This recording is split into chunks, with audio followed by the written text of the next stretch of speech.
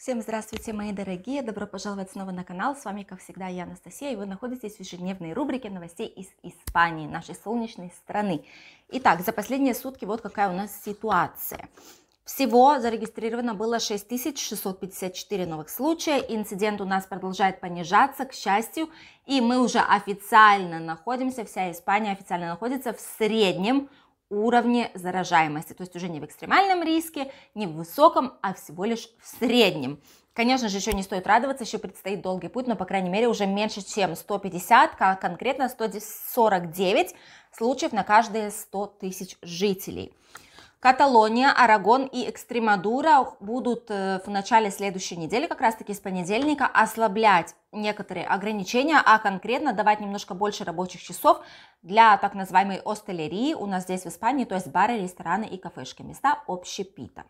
Конкретно в Экстремадуре, кстати говоря, очень интересный факт, у них уже индекс, вот этот вот случай заражаемости на 100 тысяч жителей уже меньше, чем 50.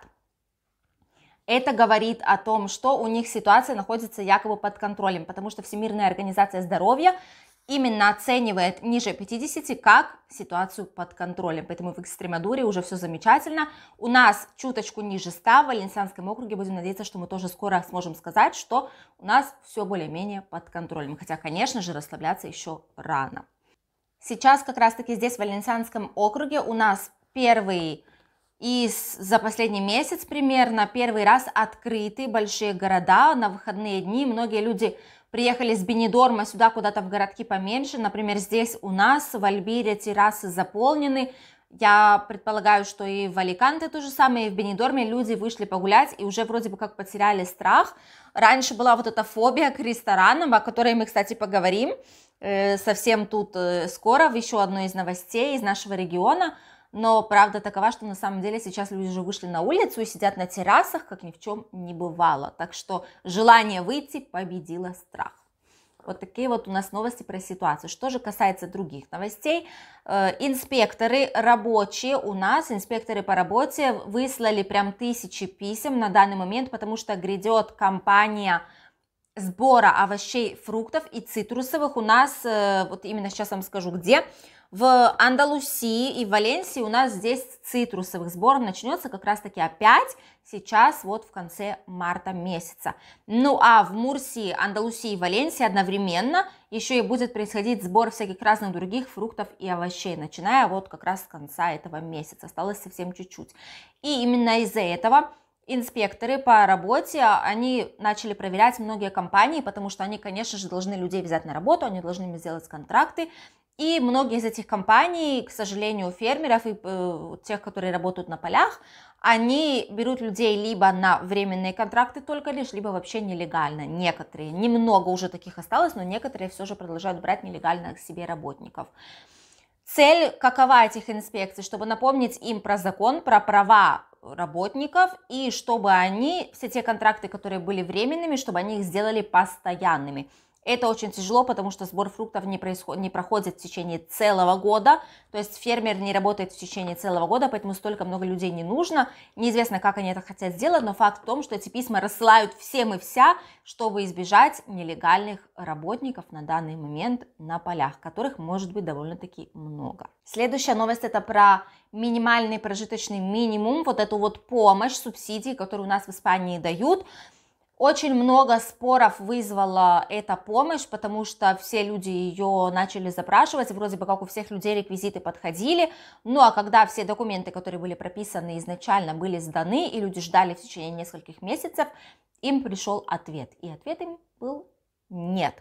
Нужно еще какие-то документы дослать, либо там у вас вот в таком-то месяце вы немножко больше получили на несколько десятков евро, поэтому вам отказано, или там на несколько центов превышает максимально допустимую сумму за месяц, которую вы зарабатывали, поэтому вам не положено, или у вас есть, э, к примеру, в вашем имени какой-то гараж на ваше имя, вы тоже не можете получить, мол, продайте ваш гараж тогда, знаете, то есть вот, вот в таком смысле всякие разные препятствия ставили людям, чтобы они не смогли получить этот, э, вот этот субсидии по минимальному прожиточному минимуму. Он составляет у нас в Испании примерно 432 евро. И есть, например, такие люди, которые все-таки им одобрили, но это прямо уже люди, которые находятся в ужасной ситуации, на, в риске нищеты, высоком, и поэтому им, конечно же, подтвердили эту помощь, но и то им не сладко, даже им, потому что не дают эту помощь, то есть не выплачивают в течение многих месяцев. Якобы социальное страхование говорит, что они до сих пор очень сильно загружены, но правда в том, что люди обещаниями и словами сыты не будут, нужно людям помогать.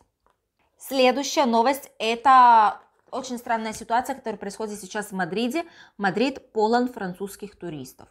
Если кто живет из вас в Мадриде, смотрит меня, подтвердить это правда или нет, но у нас испанские наши СМИ и даже по телевидению говорят, что в Мадрид прилетают пол полные, прям забитые самолеты с Франции. Причем это не люди, которые по работе, либо так семьями едут отдыхать. Нет, это одна молодежь. Это молодежь от 18 лет там, до 30 с чем-то. И прилетают они все в Мадрид на выходные дни. То есть каждые выходные они прилетают. Оказывается, что во Франции не, не рекомендуют передвигаться по Франции, не рекомендуют путешествовать, но в Испанию почему-то дорога им открыта. Не спрашивайте меня, почему, я законы не делала, я только вам рассказываю о том, что есть. Что же из этого выходит, вытекает, какая проблема? Сделали очень дешевые цены на билеты, то есть туда и обратно, в обе стороны можно купить билет с Франции, с нескольких городов Франции до Мадрида и обратно от 70 евро до 150 евро. Все равно это очень-очень дешево. Представляете, один билет стоит 75 евро. Это дешево для них. И получается, что они все толпами сюда едут, эти билеты продают как возможность фесты, возможность праздника такого, знаете, здесь в Испании. Почему? Потому что во Франции все закрыто, знаете, там бары, рестораны закрыты, все места, где можно хоть как-то хорошо провести время, закрыты. И они все кинулись сюда, потому что в Мадриде, как вы знаете, это все открыто, конечно же, с ограничениями, но все же открыто. Возможность посетить эти места есть. Это, конечно же, не очень хорошо, им все равно, понимаете, в чем дело? Они прилетают сюда, без всякой гарантии, то есть они прилетают, как ни в чем не бывало. Из Франции ПЦР, если я не ошибаюсь, не нужен, но, конечно же, Франция просит у них негативный результат по приезду. Конечно, Франция это защищается, а Испания что? Испания не может защититься от них, потому что они прилетают, побудут здесь пару дней, перезаразят там многих людей и обратно уедут во Францию. И все, как бы там они будут контролированы, а здесь их никто не контролирует. Возможно, это и хорошо для экономики Мадрида, немножко, чтобы как-то оживить, пополнить э, кассы многих баров и ресторанов. Но для людей как таковых и для ситуации Мадрида это не очень хорошо, потому что там случаи заражаемости все еще находятся в таком более-менее высоком риске. Нужно следить за ситуацией и не самое время там получать полные самолеты туристов. Еще и таких туристов, которые не все, конечно же, но молодежь, вы знаете, кто-то выпьет, кто-то там еще чего-то, и в итоге уже не думают, дистанцию не держат, маски не одевают. Поэтому правильно это или нет, уж судить каждому. Но вот такое вот происходит в Мадриде. Многие люди, опешившие, смотрят на огромное количество туристов на улицах. Э, улицы заполнены, не понимают, что происходит. Вот что, самолеты из Франции.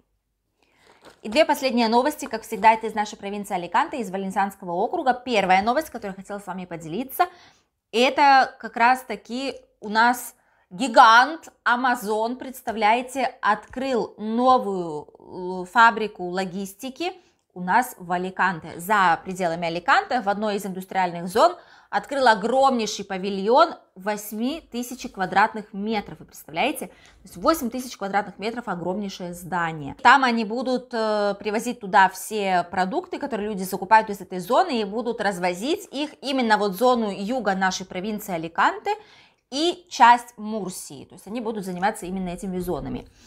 Благодаря тому, что они открывают этот новый центр логистики, здесь они создадут больше, чем 60 новых рабочих мест. Плюс ко всему, они еще не только 60 новых рабочих мест создают, они еще и дают косвенно, не напрямую, а косвенно больше, чем 300 рабочих мест всяким разным водителям, с которыми компаний, с которыми они сотрудничают. Потому что вы знаете, что Amazon бывает развозит э, и Amazon, а бывает развозит какая-то другая компания, которая работает здесь в зоне, поэтому почему бы и нет, если создать столько рабочих мест, это всегда позитивно и особенно очень нужно сейчас у нас в провинции. Так что ура! И вторая новость – это то, что наш синдикат по защите отелей Озбек, под его покровительством находится примерно 82% плюс-минус всего отельного бизнеса у нас здесь, в Валенсианском округе, не только в провинции Аликанте. И они все-таки видят возможным праздновать Святую неделю, праздновать Пасху у нас здесь, в Валенсианском округе. э, по сравнению с тем, что говорит, э, то есть это полная противоположность того, что говорит наше министерство, наше правительство Валенсианского округа, к сожалению. Значит, что же они говорят? Они требуют, чтобы все-таки Валенсианский округ э, был одной из тех провинций, одной из тех автономных округов, помимо Мадрида и Канарских островов, которые разрешат передвижение людей на вот эту вот святую неделю, на Пасху. Почему? Как они это аргументируют? Они просто-напросто сказали, что как это так, у нас в Валенсианском округе проживает 5 миллионов, ну, плюс-минус, легально проживает 5 миллионов, а те, которые приедут, может быть, будут от силы 40 тысяч. То есть они не видят логичным разрешать полное передвижение по Валенсианскому округу, когда тут полно народа, а то небольшое количество людей, которые будут сюда приезжать, запретить. То есть они видят, что это полной глупостью и пытаются как-то убедить наше правительство, чтобы разрешили людям приезжать. Наш Валенсианский округ уже с 25 октября, примерно, да, с 25 октября закрыт периметрально. Конечно же, мы все знаем, что если кто-то захочет сюда проникнуть, они проникнут какими-то маленькими дорожками между маленькими городками, поселками, проехать реально, если уж сильно захотеть. Но теоретически границы закрыты. Особенно для тех людей, кто регистрируются в отелях, если они увидят, что они приехали из другого автономного округа, их просто не пустят. То есть, как бы, дело здесь, дело здесь не в этом. Если вы куда-то едете к себе в какой-то апартамент, в свою квартиру, то, возможно, еще как-то вы можете проехать да, обходными путями. Но если это что-то легальное, то есть, если у вас где-то бронь есть, то вам просто скажут, вы не можете приехать, меняйте на другую дату, потому что вы из другого региона. Многие отели говорят, что будут открываться с 19 марта, то есть буквально уже со второй половины этого месяца многие отели в Бенидорме начнут открываться. Почему? Потому что уже людям начали выдавать Боно Вьяхе. Боно Вьяхе это была такая инициатива нашего Валенсианского округа, которые дарили такого своего рода чек людям, которые зарегистрировались в платформе на более-менее практически бесплатный отдых. Они покрывали до 600 евро стоимости отдыха в любом э, из отелей, которые были подписаны на эту программу в Валенсианском округе. И люди уже начали получать эти первые чеки и активно резервируют, активно бронируют. Брони выросли аж на 25%, буквально за пару суток, за 48 часов примерно. Поэтому отели сказали, все, надо открываться.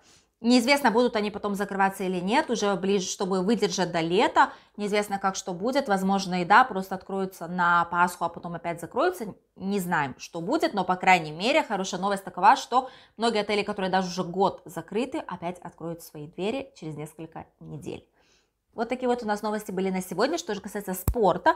В спорте, как всегда, их две. Первое – это что происходит с Серхио Рамос на данный момент. Это игрок Реал Мадрида, капитан команды, очень важная часть в, в пузле этой команды. И оказывается, что вообще в футболе, как это происходит. Вам дают предложение, которое вы можете либо отклонить, либо вам дают время, чтобы вы подумали. Так вот, э, Серхио Рамос имеет до конца марта время, чтобы подумать над предложением Реаль Мадрида по обновлению его контракта. Напомню, Реаль Мадрид ему предложил год всего лишь, и потом, если через этот год увидит, что он все еще находится в хорошей форме, ему предложат еще один год. Ну, а он, в свою очередь, спросил несколько лет, был этим недоволен, поэтому решил подождать. У него есть время до конца этого месяца. Если же он не ответит Реаль Мадриду, то это предложение потеряет всякую силу, и он останется просто на пустом месте, и придется ждать, будут ли какие-то другие футбольные команды за него бороться. Так что вскоре мы узнаем, что же будет. Следующая неделя, возможно, будет решающей даже. Вторая новость – это то, что два лучших тренера, как это говорю не я, это не мое мнение, это говорят именно спортивные газеты, спортивные секции, у нас самые главные э, лидеры на рынке, они говорят, что эти два тренера – это, э, конечно же, Симеоне и Зидан, тренеры лучшие 21 века, по их словам. Скоро, завтра конкретно, в 4 часа 15 минут по испанскому времени – столкнуться в новом матче. Будет вот этот вот легендарный дерби между Атлетико Мадрид и Реаль Мадрид. И они будут играть, смотреть, что же будет, будут бороться за вот эти пункты, за эти э, ключевые очки в лиге. Реаль Мадрид и Барса на самом деле сейчас находятся наравне, у них по 53 пункта, но Атлетика Мадрид лидирует, поэтому Реаль Мадриду очень важно выиграть, очень важно пройти э, этот матч с победой, с высоко поднятой головой, чтобы еще больше приблизиться к Атлетико Мадриду и, возможно, стать лидерами лиги в этом году. Так что пожелаем им удачи, посмотрим завтра, что же будет. Ну а в понедельник я, конечно же, вам об этом расскажу. Что же касается нашей испанской погоды. Погода у нас в Испании переменчивая, как всегда, на самом деле немножечко лучше, чем в предыдущие дни, но все же еще облачно. Говорят, что сегодня во второй половине дня, часов так э, с 4 с 5, у нас опять сильно затянется небо, но дождя вроде как не обещают. То есть дожди где-то ходят около нас, но здесь, по крайней мере в Альбире, в Бенедорме, его пока что нет, к счастью. И вот, как видно на этой карте, можете посмотреть, как сильно затянуто небо во многих частях Испании. Э, в основном солнышко находится только на Балярских островах, вот несколько южных частей, вот Андалусии и в Каталонии. На севере, на севере тоже кое-где есть солнце. Ну а и на вот запад, северо-запад и чуточку на юге где-то пару точечек. А так в основном везде небо затянуто, к сожалению. Что же касается температур, вот вторая карта. Температура у нас в Испании примерно держится на таком же уровне, как были и раньше, без особо сильных изменений. На севере будет от 9 до 14 градусов тепла, в центре от 9 до 16, на юге будет от 9 до 20 градусов тепла, 20 градусов будет прям как раз таки на самой южной точке Испании. Ну а здесь у нас э, у Средиземного моря будет от 9 до 17. Конкретно по городам в Аликанте будет сегодня плюс 17, немножко прохладно для нас, но что поделаешь, как есть, так есть. Будем надеяться, что, может быть, завтра будет немножко получше. В Барселоне будет плюс 15, в Андалусии в Гранаде 17, в Хаен 19, в Малаге 18, в Севилье 19, ну и в Марбее тоже примерно 18 градусов. Там, в общем-то, примерно одинаковая температура, плюс-минус 1-2 градуса разница. В Мадриде, в центре Испании, плюс 16, на Балярских островах плюс 18, на Канарских плюс 20, плюс 20, плюс 21, 21 это на Тенерифе. И в Валенсии, немножко севернее от нас, будет всего лишь 15 градусов, потому что там обещают дожди, к сожалению. Температура воды по-прежнему такая же, все те же 15 градусов, но как только вернется к нам тепло, она медленно, но верно начнет подниматься. Многие люди меня спрашивали, когда же откроется здесь купательный сезон. Те люди, которые живут здесь в Испании, мы начинаем купаться с первых чисел июня, но приезжие купаются уже даже и в апреле, просто чтобы вы знали. На всякий случай, если вдруг вы приедете сюда и решите искупаться, то начиная с апреля месяца, в принципе, уже и нормально. Вот такие новости были на сегодня, мои дорогие. Я была очень рада с вами поделиться. Желаю вам прекраснейших выходных, позитивных, без стресса, чтобы вы отдохнули, зарядились энергией перед новой рабочей неделей. И увидимся с вами завтра в новом праздничном специальном влоге, который я для вас буду снимать и с прекрасным рецептом, как всегда. Ну а новости у нас будут следующие в понедельник в обед. Всем пока!